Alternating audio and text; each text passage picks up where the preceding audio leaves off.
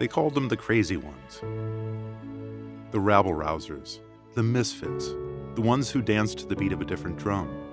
You could cheer them or chastise them, revere them or revile them.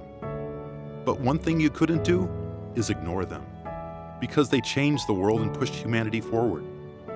These geniuses not only thought differently, they ate differently too. They ate plants, not animals, and they inspired a new generation of disruptors to carry the torch. People who eat plants are healthier and live longer. Eating plants reduces animal suffering, minimizes the risk of pandemics, and mitigates climate change. And while some say plant eaters are the crazy ones, we think it's not just genius, it's evolution.